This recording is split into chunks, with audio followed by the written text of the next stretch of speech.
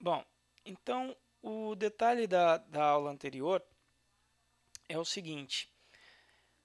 Veja que o nome que ele pegou aqui na hora de eu fazer o upload é justamente o final uh, do path que aparece nesse link aqui, ó.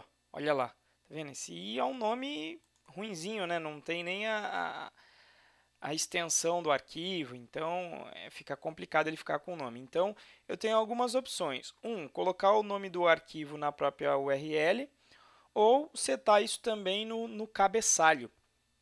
Eu tenho como setar isso via cabeçalho. Então, o que, que eu vou fazer? De toda forma, eu vou ter que receber o nome. Deixa eu só já salvar aqui que o download. Download funcionando com nomes esquisitos. Né? Deixa eu colocar aqui para a gente diferenciar lá no, no repositório. Então, o que, que eu vou fazer aqui? Olha, eu vou receber um file name como parâmetro. Né? E se eu mandar esse file name se eu enviar esse file name no meu path, no final do meu path, já seria uma forma de fazer funcionar. Então, ó, o que, que eu vou fazer aqui, olha, no meu código da, da home, na hora de gerar o path, em vez de usar apenas o blob key, eu vou mandar também o, o file name. Desse jeito ele vai montar o URL de uma maneira distinta, né? Opa, Parou meu servidor. Deixa eu restartar ele aqui.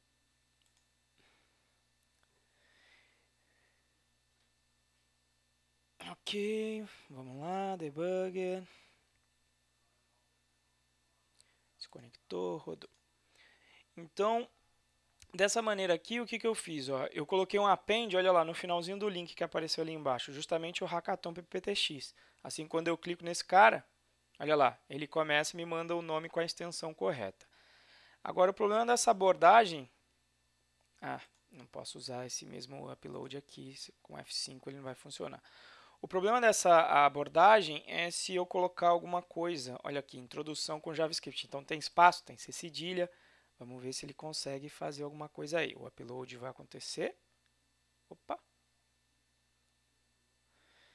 Na realidade, eu já tenho problemas aqui, ó, na hora de gerar o link, olha lá, a minha lib URL lib na hora de gerar esse link aqui, ele já não consegue gerar com esse nome especial ali no meio da minha URL.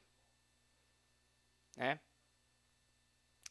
Uh, vamos tentar uma solução seria tentar então de repente fazer aqui o encode para o TF8, apesar que eu acho que o RLlib eu tenho minhas dúvidas se ele vai conseguir encodar esse file name. Eu acho que não. Olha, aí sim, conseguiu então encodar. Será que vai funcionar? Vamos dar uma olhada. É, ele colocou lá o barra introdução para o JavaScript. Então, vamos tentar aqui fazer o upload. Né? O RLlib acostumado a trabalhar com é, acostumado a trabalhar com string, né?